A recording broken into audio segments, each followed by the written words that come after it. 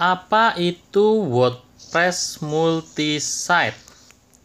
WordPress multisite itu adalah di mana satu buah WordPress itu bisa untuk membuat beberapa website yang berbeda. Jadi cukup menginstal satu WordPress saja sehingga temanya bisa di-share ke website ini, website ini, website ini, begitu juga user yang boleh bisa di-share. Misalnya user ini itu boleh e, mengelola website ini dan ini misalnya.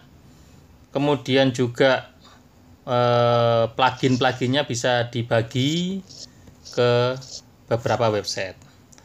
Nah, contoh aplikasi website e, multiset itu adalah di blog mahasiswa maupun blog dosen yang ada di UNUSA. Misalnya student .unusa.acid slash nama.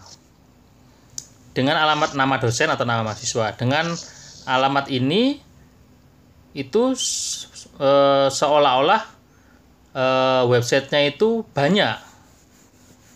Padahal WordPressnya hanya satu.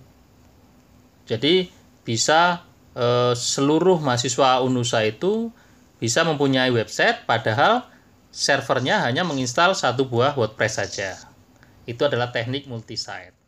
Demikian.